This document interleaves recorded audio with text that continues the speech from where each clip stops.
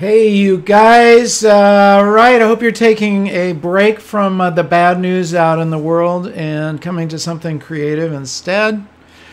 I would love to see that being the case. It's going to go on. You can postpone it for another half hour and take a look at some photo critiquing. And uh, let us know where you guys are. And thank you for somebody just liking, and uh, that's always really helpful. So if you like, tell us where you are. That's super helpful. I'm going to kind of be straightforward here, you guys. So I'm Marc Silber. I'm an author, educator, and photographer in Carmel, California, where many photographers lived, including Ansel Adams and Edward Weston. And uh, I want to let you know that our show today is brought to you by our friends at Bay Photo Lab. And you know that you got to make prints, and here's how you can do it. You can get 25% off on albums. Albums are always really cool because you can, they're basically a book, and you can um, put together, like one thing we like to do is put together albums of our kids. You can put together an album of your trips it's nice to have everything kind of consolidated into one place and there's how you can do it 25% off. There's a code in there. You can grab that. 10% off on frame prints. I only get frame prints so it, it takes care of it all in one place which is great. Bay photo will print them and frame them. Super handy. I used to have to take my prints and go somewhere else and get them framed and this puts it all in one place. And if you're selling your stuff that's really cool because you can get the you know somebody orders a, orders from you a frame print you can just get it made and they'll ship it directly to your client. Awesome. Thin wraps. Those are cool. You can see how they are thin against the wall. Those can look really cool. I have at least one hanging around my house 20% off. So those are the current specials, and you'll always get 25% off on your first order. So after the show, head over to Bay Photo Lab, and you'll be in good company. Scott Kelby, Bob Holmes, Bambi Cantrell, some of the biggest names in photography use Bay Photo Lab. And hello, Christopher. Thanks for joining us from New York. I bet it's still cold there. It's cold here and in Carmel. speaking of Bay Photo and Chris, Chris was our winner previously oh, on awesome. the Bay Photo print. So if you go to the AYP Club, you can see the print that he put up in his bedroom in New York City. Uh, and it was an awesome print that we looked at. So be sure to check that out on AYP Club. I saw that, and I I also want to remind you guys to uh, subscribe and enable the bell so you don't miss any of our new videos. And and well done, Chris. Okay, well, Jared, let's just dive right in. I'm going to turn on my screen here. And whose is this? All right, this is from our friend Lucian over in the UK. Uh, this one was taken. Uh, this is Blenheim Palace, I believe that's how you say that, uh, in England. So this is, I guess, one of the royal residences. Yeah, and Jared pointed out that you've got tree motion there, yeah. And so that means a long exposure. It's um you know, it's got the leading line uh, going right up to the front door of this palace. You you you can't help but look at it, right? And your your eye gets led up there. Um, you know, so it's framed well with the leading lines it's really one one line rather than two lines, but that's totally fine for a leading line. Your eye is just, you know, here's all this green and there's the there's the roadway and it goes right up to the front door. Um, the blur of the trees is interesting. I you probably know what I'm going to say. I would uh, I would like to see some kind of a punctuation point or a person in the frame. Could be you and uh, you know we've we've talked about this. Like if you're on that path, you'd you'd have a long walk, but that's okay. Or you could have a friend of yours walk ahead and just go up to the path, or the front door. I would just say put a person in that frame, and that would, you know, that does a lot of things. It adds a punctuation point. It adds depth. We like to see life, I believe you know, you're looking at a building. Okay, so put a life form in it. It becomes more interesting. Uh, that's point number one. The other, the only other thing is I would process those clouds a little bit more. You could put a gradient filter on there and make them darker. Uh, that's probably the easiest way to just pump up. You know, you've got some cool uh, sort of moodiness in the sky and some texture. I would just punch that up a little bit more. But the more important thing is put a person in a frame, in the frame, and it does make a difference. But thank you for sending that in. All right, who's next? All right, let's go to our friend Christopher. So these are some photos taken, I believe it was, he said, at the Chinese New Year celebration in Manhattan. Uh, the same Christopher. There you are. Well, Yep. Christopher. Um, Uh, so So let's see here. Little boy lights sparklers during the Lunar New Year parade at Manhattan Chinatown. the one on the left, I like better. I, you know, I like the smoke coming out of the sparkler of the one on the right, but I like the one on the left because there's less distraction. The, um, you know, the hand is fine, but that sparkler over his head kind of distracts me from him. Yeah. So the one on the left works better for me. If you wanted to fiddle with Photoshop, you could pull over his hand from the right hand one and put it onto the left hand. Dan Milner, don't listen to what I just said. he doesn't like to hear me suggest things like that. And frankly, I never do those things, but I know that it can be done in Photoshop.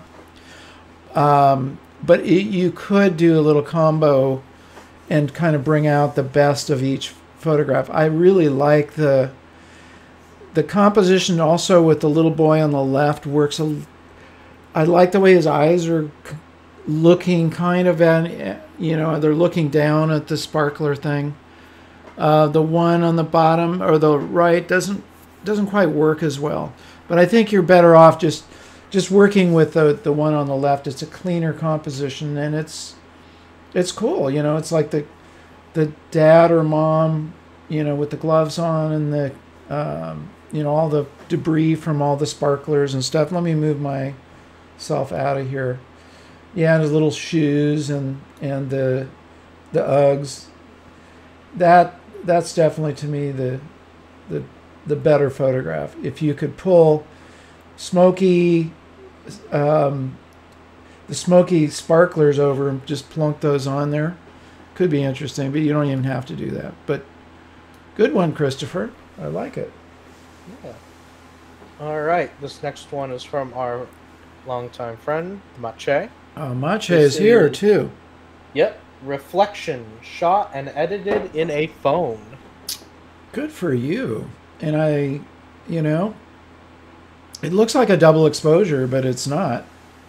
Um, it's just the reflection. It's very cool. And you've got, you know, your black and white here. Um, tiny little thing. I would just darken this corner here, the lower left corner. You want to you want to get rid of anything that's going to pull, yeah, right there. Pull the viewer's eye out of the frame and then darken the two top edges, the two dark the two top corners. Same reason. Just think of it like when you look at your image, like after you've done all the things you're going to do with it, take one final look and see if there's anything that pulls your eye out of the frame. And the the easy fix for that is just to darken it. And even with a phone, I don't know what you're using. If you're using Lightroom Mobile, uh, you know, it's not the greatest in the world, but you can do it. In terms of uh, doing a local adjustment, you could darken those those edges in Lightroom Mobile. It's going to be much easier to do it on a desktop, which is what I do. If I get, um, you know, a phone iPhone shot, I'll bring it into my desktop most of the time because you get. I find it really hard to get those little tiny things moving around on the phone. I'd rather have more real estate that I'm working with, and I can, I can, you know, you can fix that up in a in a heartbeat. But anyway, overall composition is really cool. Uh, the, you know, the woman you you've managed to get that reflection in such a way that it's kind of like their faces remain intact, and then you can see the tree behind, and it's a, it's a very interesting photograph. Good one. Okay. All right. Yeah, let us know if you are here so that we can call out your stuff. This one is from Damon, uh, and they just put uh, the question: Any critiques? Well, this is going to sound like what you heard in the first one. You've got a, you know, you've got a really interesting color here, the orange, yellow. Yeah, and you've got a frame there. Put something in the frame. Have somebody standing there.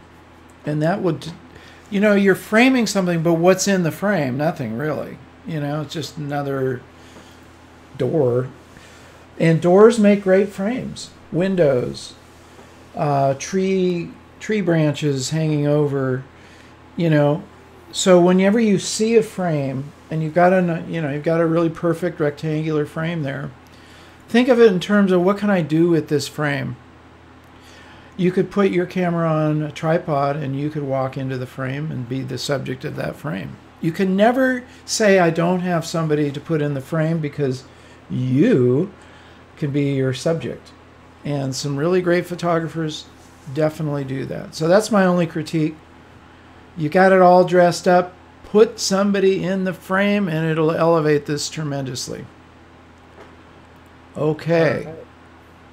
Uh, this next one is from our friend Gier, who, of course, we know from his lovely film photography that he's been doing. Oh, yeah. Uh, this is a summer story taken with a vintage camera, a Zeiss Ikon, Zeiss. uh, a Zeiss yeah. uh, Ikon uh, Acrona, uh, six by nine centimeters Wow. on 120 film. Six by nine centimeters on okay. So it's a it's not a square frame, it's a rectangular frame as you can see, and it's shot with 120 film, which for you guys who don't know what 120 film is what some of my cameras back here use, but it's it's two and a quarter inches high, and in this case it's a two and a quarter, three and a quarter. So it's a rectangle. That's pretty big. Just imagine two and a quarter about like that and about this wide. You know, 35 millimeters like about like this. So you can see how much bigger it is. That's called medium format. And um, it gives you a very high resolution image. You know, when we're talking about a scanned image, it's very high resolution. Um, in film, it means that you can you can produce a pretty big print out of that and also that it's not going to be grainy so that's cool and you know the composition is really works out well because these th- the two what do we have one two calves i think is yeah those are both calves and then we've got a horse in the background so they all kind of work together that's that's called three spot composition even though there's four a three spot can be minimum of three, and it can be more than three, and that's actually three spot composition. It's in my book. It's in there, folks, and it is a form of composition that that works. You know, I will say this because do we know why all these composition elements work? Not really. I don't know that anybody's necessarily figured them all out, like, but they do work. And three spot composition just seems to be our eye gets drawn to these three or four elements and it works. So the only here's the only little things I would do. I would again, from what I said before, take the stuff where your eye gets pulled away. Take that wood in the in the foreground there and darken it just darken it. Easy to fix in Lightroom. Just make a local adjustment. In the darkroom, we could burn it in. You know, we would use our tools to make. Burning in just means you're darkening it, and it is a darkroom technique because your eye kind of gets pulled back from the subject is is the the mother and the calf. We want our eye just to go there. So darken that. You know, you could even get rid of it altogether. That would be another option. But you can certainly darken it and darken the top edge so that our eye isn't being pulled. Yeah, right there. Two little easy fixes. Otherwise, fantastic. All and right. again, bravo to using a medium format camera in today's world. takes a lot of work. Yeah, we always love seeing your work, so keep on posting. Yeah. Um, this is from another friend of the show, Sarah. And uh, let me tell you, Sarah had a lot of really good photos from their trip to the Isle of Skye Sky Moo. Yeah. I think that's how you say it. Um, but this was one that I especially liked. So Yeah, so here's what you've got. You've got a clear-cut punctuation point with the, um, yeah, the lighthouse right there is your punctuation point. Mainly the, the uh, cylind- cylindrical part of it and the point of it.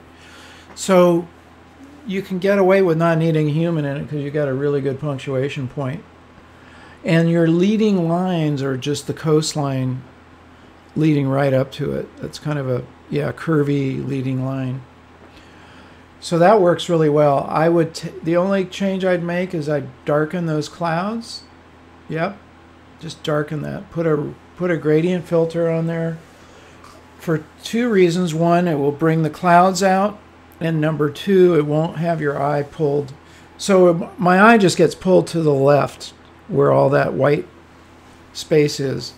And you don't want that. You want the eye being led right up the center of that. Yep right there.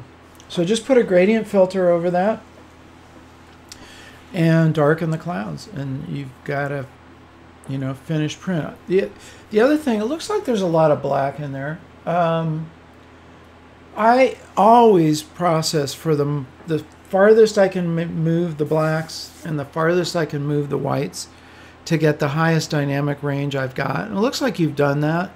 I'm just looking at the the white of the uh, you know the waves there is pretty white, and then the black on the edge there and the bottom looks pretty black. So yeah, the only real change is just put the gradient filter on there. And by the way, I'd love it if you guys try these things and put them back in AYP Club, and uh, you know we can see kind of your before and after and see how that works out for you. But again, think every time you think about a photograph, look at it like a window into you, what you're seeing, and you know just make sure your eye doesn't get pulled off in the wrong direction. Okay? You don't want to pull the viewer's eye out of the frame. You want them to stay in the frame. And that's usually done by darkening the edges or getting rid of. Sometimes you just crop it out completely. All right, let's see what we got here. All right, What we've else? got two photos here from Alicia Jones, friend in Canada. Um, and she said, I love these photos, but I feel like I'm missing an element to them. Any suggestions? So that's the first one. That one's cool. You know, I like the. Um, you've got your, you know, you got your subject. Thank you, and you and you have her nicely framed between those two uh, aspens. It looks like, and sitting on the log, the the uh, branch. Really, it's just uh, in your processing, just a couple little things. It's a little on the blown out side, meaning it's just a little overexposed. So just bring down your exposure a little bit. Um, darken the top edge, darken the corners, just based on what I was just saying. And then uh, see if you can stretch that dynamic range, if you can get those blacks and whites a little more prominent. The background, so here's what you do if you're working with the new Lightroom. This is a, a really cool feature, is you make a mask out of the subject and then you can invert it and then darken the whole all the background leave her she's exposed she's a little overexposed you could bring her exposure down a little bit maybe just pull the highlights down But I would just take that whole background, all that in your masking. And I do have an, a course that we finished a couple weeks ago, the poplar trees, yeah. I have a course I finished a couple weeks ago that shows you how to do this. And um, it's such a handy feature, you guys. I can't tell you how handy it is because it would select her, you invert it, you process the background, make it dark, let her make it look like the background's really dark and she's kind of being lit by, you know, maybe a, a reflector or something. And what it'll do is just put the highlight right on your subject. So why don't you try that? If you don't know how to use that new feature in Lightroom, it's also in Photoshop. And um, I guess you can wait for my class, which will be coming out pretty soon. Otherwise, um, that's that's just going to make that just elevate your photo just instantly just by doing that. And that's all I would focus on at this point. All right. Was there uh, another version too? That... Yeah, th- this was another one that uh, she also felt something was missing from it's it. the same thing. That you know we got too much white in the background, pulling your attention away. It's interesting how you put it on an angle like that. That's cool. But uh, that one's even easier. You just take that sky, put a gradient filter on it, and darken it sometimes you know it's funny how when we do these critiques there's kind of a theme a general theme and and the theme, yeah. theme today is is uh, don't let your viewer's eye get bounced out of the frame. Yeah. That's that's kind of the lesson for today. Um, going back to Sayre's photo um, he just commented uh, i had five minutes. It was raining constantly. Wow. So that's a good to get in there yeah and use your time efficiently because yeah. I saw he took other photos uh, around here too uh, that were also excellent. So yeah, and you the gotta just wait fil- for that moment. The filter is just done in your post processing, and um, oh, using that same Lightroom feature, you can you can just take the sky. Yeah, you can mask the sky and just darken it. So, you know, there's a lot of different tools you try. I it's trial and error for me most of the time. Does a gradient filter work? Nah, that didn't look right. Let's try darkening the skies, you know, with a with a mask. And you know, just all these tools were things that we could do in the darkroom. They were just a lot more time consuming. You know, we did do these things. We would have burned the top edge. You know, it just takes time. The other thing that's nice, you're not standing there breathing chemicals I mean, I don't miss having my hands, you know, in developer and fixer and it sounds really romantic, but I don't miss it at all, frankly. It's one of these days I will go back into the darkroom mainly to prove to myself that I can still do it. Uh, it's like last year I went snowboarding. I hadn't been snowboarding in about six, seven years, and I thought, okay, I hope I can still snowboard, and I did. I did fine. I mean, it took me few runs to kind of get my sea legs back, and I was going down black diamonds at the end of the day. Um, so you know that's the, if you are into your darkroom work, keep doing it. Don't stop. All right, do we have a few more? We got a couple yep. more minutes. This one's from Michael Elliott, who is a very big fan of film photography. Um, came with the hashtags uh, shoot film, believe in film, film is not uh, dead, analog photography, and this one is called a modern love story, a modern love song. Uh huh. You know, it's interesting. I feel like there's something missing. I don't quite get it, and I'm just being forthright with you. I'm just looking at it like, okay, what's the story here? Somebody left a wine bottle and a glass. Where, where are the people? You know. Put the people into this thing. Okay, somebody's calling my phone. No, thank you. First rule of video production always turn off your phone. um, yeah, I feel like I'm coming in late in the story. What what happened? Where do they go?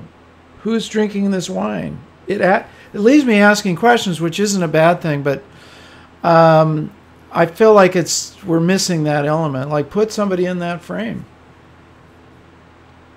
There's a glass, there's a bottle, there's a chain. You got kind of a set ready to go, and I just want to I want to see who's in there, even if it's you drinking the wine. Like, good, get in the frame, hop in there. you know, think about it like a movie. You know, you got a movie set, and you know, and a set is what's your actor. Where does your actor appear? And in this case, you, you kind of got a you got the set all ready to go, but I don't see the actor. That's my critique. But uh, bravo on shooting with film. Fantastic. Yeah. All right. This next one is from Christy, just submitted. Wow, that's Um, cool. Don't Mount know Fuji, where right? this is.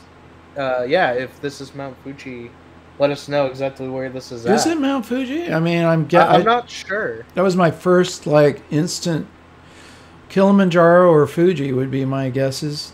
Uh, the train I think would make it Mount Fuji. My guess. Yeah, you should let us know uh, in the chat. I'm assuming that you are here in the chat. It's a very dreamy. It's like there's a lot of motion in here. In fact, the trees are moving, the train is moving, the mountain is stable. You know, that kind of gives it a dreamy feel. I like it. You know, Mhm. you've got kind of everything in there that it looks like I see grain. Or is that I don't know if you put grain into it. Yeah. I don't know. That might be noise. If it's noise, I'd get rid of it. Looks now that I'm looking at it, I believe it's noise. Get rid of that noise. Yeah. Now that I can see it, it's just get rid of the noise. It doesn't. Noise never enhances a photograph. Grain, yes, grain is can can be an art, part of the art form, but unfortunately, noise never adds to a photograph. So just just use your what? That's Mount Shasta. And there's a train running by. I didn't know there were. Okay, well, you really fooled me on that one. Mount Shasta is in California. It's about seven hours north of me. Oh wow. Yeah, Northern California. You know what it makes me think of? It Hmm. makes me think of those old films where you've got like the the British guy talking. Yeah, yeah. Um, you know, it's like, and here is Mount Shasta. You Mount know, like Shasta, that kind yeah. of thing from back in like the fifties and stuff. And and I love that that kind of aesthetic and feel. yeah. I didn't know there was a train running by Mount Shasta. That is a train, right? Maybe it's not a train. This Yeah. right here, No, but okay, that's not a or train. oh, down there. What is no, I don't think it's. It's a I'm fence. not sure what it is. Okay, I was seeing a train, but I believe that's just uh, some sort of a fence thing. Okay. It totally looks like a train, though. I don't think it is now that I look at it. Okay, nice photograph. Just get rid of the noise. I have a good question from Perry. Perry wants to know what makes grain better than noise. That is a good question. You know, I think it's one of those aesthetic things. Grain is something that you knew was built into the film. And there's, I think if we did a comparison side by side, you'd see there's something more aesthetic. I, guess that's the only way of, if you thought of it in terms of sound,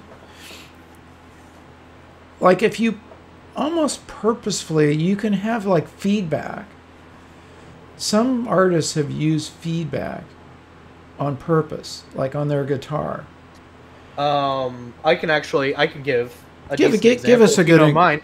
As an audio miner, uh, I had to actually study audio a lot, and one of the interesting techniques um, that I learned was the idea of taking like a bass soundtrack or you know like the bass guitar or something and you have two versions of it that are playing at the same time. Yeah. But one of them is like slightly distorted. Exactly. you're doing the distortion you're doing it on purpose. Noise is is like if it just ah you know your ears just try to reject it. Ah that doesn't sound good. And i guess that's just kind of an analogy with grain and noise. Noise is always just going to look ugly. It's lumpy. It just looks yucky you know it doesn't if that were grain it would be much more uniform Yep. It wouldn't look splotchy like that. And that's the difference. That splotchiness is what gives it a kind of an ugly quality. Yeah, it's not even. As Perry pointed out, I agree. The uneven nature of the noise is distracting. Yeah, grain that's- would that's be a, part. grain is going to be uniform throughout the whole thing. There's going to be a certain look to that grain. It's not changing. It's, I mean, some of it will be more apparent, but it's all uniform, and you know that's what makes it part of the art form. A grain grainy f- photograph could look really cool. Mhm. Definitely. You know, we should do a little show on that. It wouldn't hurt. I was just thinking the Yeah. same thing. To, to take some of these points and go, why don't we define some of these more clearly here? Yeah. Yeah, feedback is can be used very well used. I mean, the Beatles did it. You could hear Jimi Hendrix use it, use it with his guitar, but it's controlled by the artist. Grain is some is basically controlled by the artist because you chose that kind of film. You did not like it, and sooner you get rid of it, the better. Yeah, you can you can process noise and turn it into grain. That's another. You can do that. It's basically just getting rid of the noise and putting grain on top of it, which is fine. You can do that. That's that's another option. You know, it's just basically you're getting rid of it or you're making it look like grain. Yep. Adding that consistency. Yeah. All right, I think we have time for one or two more. Yep. All right. Let's go to our good friend, long time AYP. Oh yeah, member, Bert. Uh, February baseball season. I think they're they're working on their practice, getting ready for the baseball season ahead. And here's a great shot that he caught. You know, Bert is such a pro. Look at how he framed that. It's perfect. You know, it's like the catcher kneeling, right center, smack in the frame, the big flag up there. You know, Bert is a pro.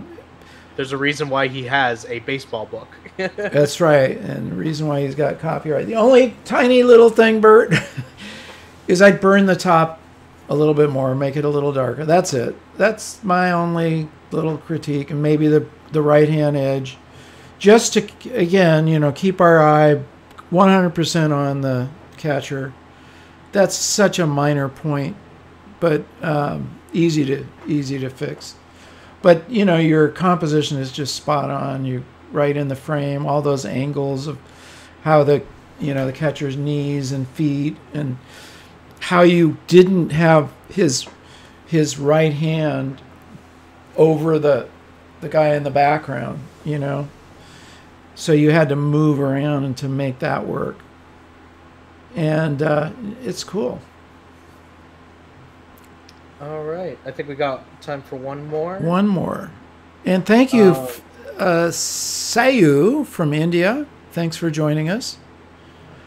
I love all you guys. You know, thank you for turning in your stuff here. It's really helpful, and I, Yeah. I hope this helps you. If you're seeing this late, don't worry. We do our critique show generally about once a month. Yeah, right? Every So, few weeks, so- three weeks So maybe. submit your photos. Keep an eye out for when we do our next show.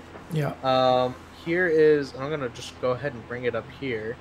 Um, so Nancy was hoping for a critique, uh, edited versus raw, of Valley of Fire State Park in Nevada. So that's Wow. the edited one, and here's the unedited image. Let's go back again to the other one. I mean, I lo- it's more interesting. I think it's a little too much. I would say somewhere in between those two.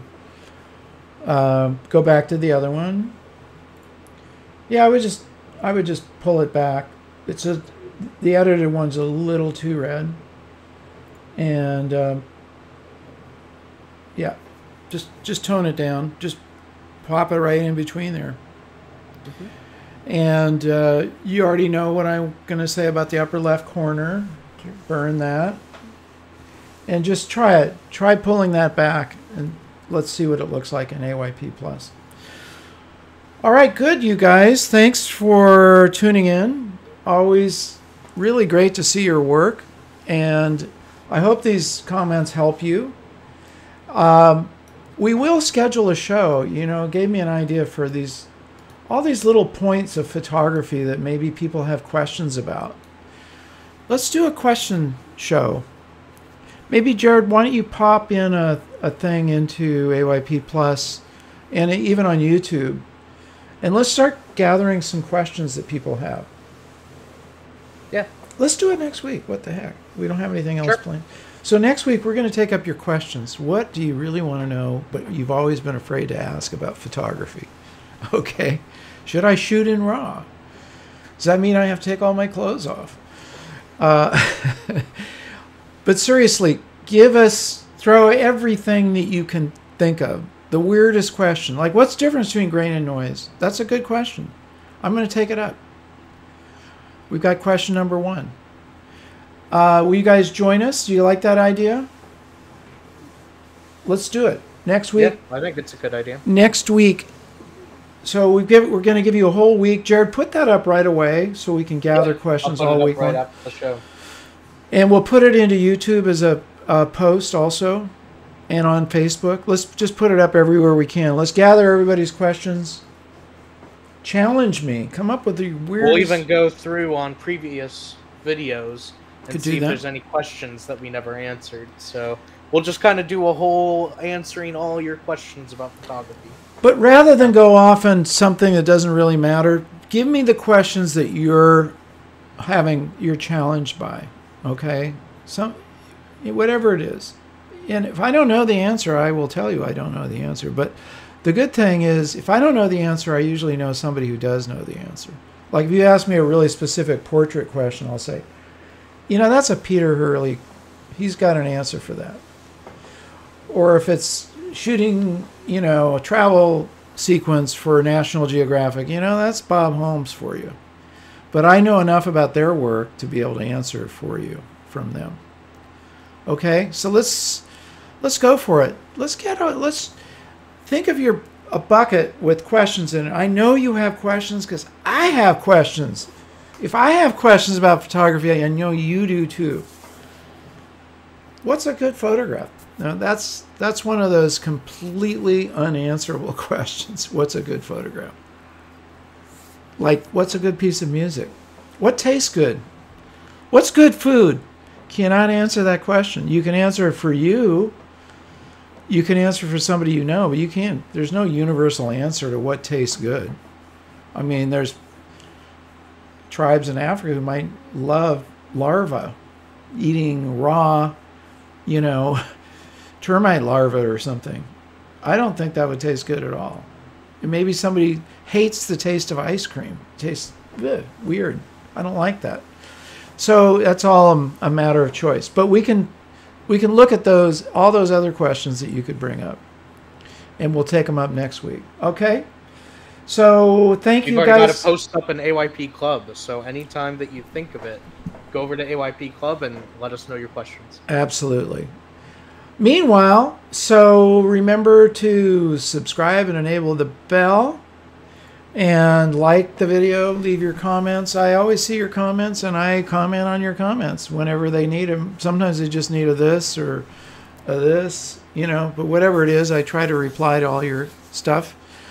And uh, other than that, head over to Bay Photo Lab after the show, buy something from them. They, we, we gave you guys their, you know, specials. Just type in Bay Photo Lab special, and you'll get to their homepage, and you'll see what the specials are. Other than that, Jared, anything else we're missing? I don't think so, right? No, not that I can think of. Just be sure to check out our videos and have a good weekend. We'll be uh, posting a video up on Saturday, or yeah, on Saturday. So be sure to check that out. You know, here's what I want you guys to watch videos. I want you to tell your friends about AYP because we here constantly we're the best YouTube channel on the on YouTube. I mean, people I love when I hear that, but tell your friends about it. Let's not keep it a secret.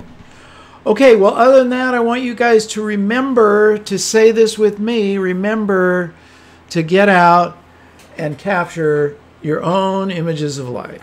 See you guys soon. Take care. Stay.